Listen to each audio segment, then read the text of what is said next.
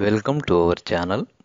Programming analysis టూల్స్లో భాగంగా మరి algorithm గురించి చూసాము ఈ రోజున ఫ్లో చార్ట్స్ గురించి క్లుప్తంగా తెలుసుకుందాం. Flow charts are one of the earliest method used for diagramming. మరి ఫ్లో చార్ట్స్ అంటే simply a graphic method of indicating. a proposed or actual solution of a problem.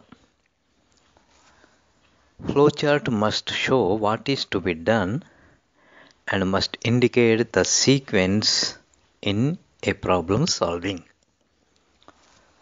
After flowchart is done, then it can be converted into a program అన్నమాట ఈ యొక్క flow charts రాసే క్రమంలో అనేకమైన సింబల్స్ని వాడుతూ ఉంటారు.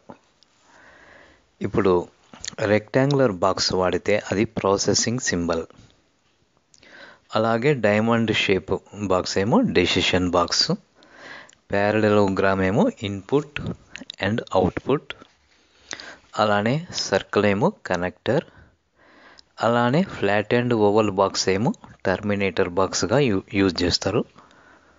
అలానే మీరు device symbol for printer for disk for magnetic tape for flow lines. Annotation ఇవన్నీ కూడా మీరు పిక్చర్లో ఫిగర్లో చూడవచ్చు. ఇది క్లుప్తంగా రిగార్డింగ్ ఫ్లో చార్ట్స్ ఏ విధంగా రాస్తారు. మరి నెక్స్ట్ వీడియోలో principles of flow charting flow charts యొక్క అడ్వాంటేజ్ మరి different types of flow charts అనే వాటి గురించి తెలుసుకుందాం. అప్పటి వరకు సెలవు.